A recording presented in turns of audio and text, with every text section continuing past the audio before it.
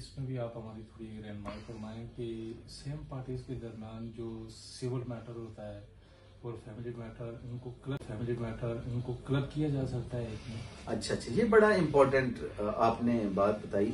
Basically same subject matter same parties तो होती हैं, लेकिन उसके साथ सेम सब्जेक्ट मैटर का होना ज़रूरी होता है। अब जैसे देखते हैं आपके सेम पार्टीज़ और सेम सब्जेक्ट मैटर में आप देखते हैं तो फैमिली केस और सिविल केस में सब्जेक्ट मैटर सेम नहीं होता। सिविल केस में हो सकते हैं उनके क्लेम ही अलग हो, उन्होंने कोई उधार लिया हो, कोई प्रॉपर्टी का इशू हो, कोई दीगर लेन देन होगा।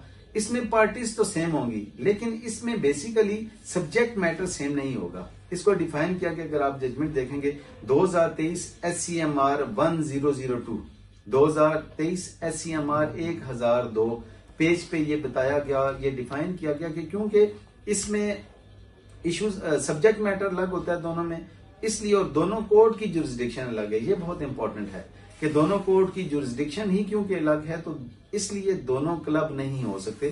फैमिली कोर्ट जो है, वो चलते ही फैमिली सूट चलते ही फैमिली कोर्ट में, उसकी अख्तियार जो है फैमिली जज को हैं। और जो सिविल कोर्ट है, वो तो सिविल कोर्ट्स में चलेगा सिविल केस सिविल कोर्ट में चलेगा। इसलिए ये दोनों कोर्ट्स की जुरिस्डिक्शन अलग है।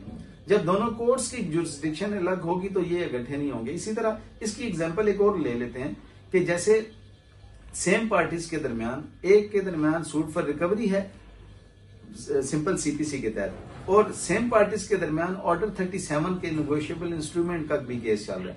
अब क्योंकि इसमें सब्जेक्ट मैटर जो है वो अलग आ जाएगा और कोर्ट की जुरिस्डिक्शन अलग आ जाएगी। जैसे ऑर्डर 37 में जो इख्तियार है, वो लर्नर डिस्ट्रिक्ट जज को है।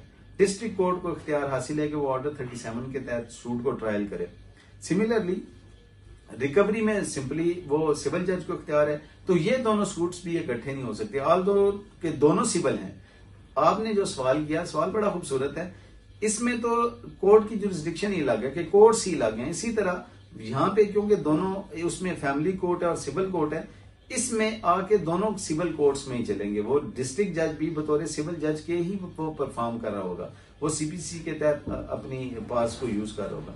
उसके बावजूद वो क्लब नहीं हो सकते क्योंकि उसमें सब्जेक्ट मैटर अलग है और उसमें कोर्ट्स की जुरिस्डिक्शन अलग है। इसमें इसलिए इसमें ये ऐसा नहीं हो सकता। जबकि आपको आपको कंसोलिडेशन के मुतालिक आप देखेंगे तो आपको पी एल जे दो हज़ार तेईस Lahore one nine nine, Multan bench की जजमेंट है ये।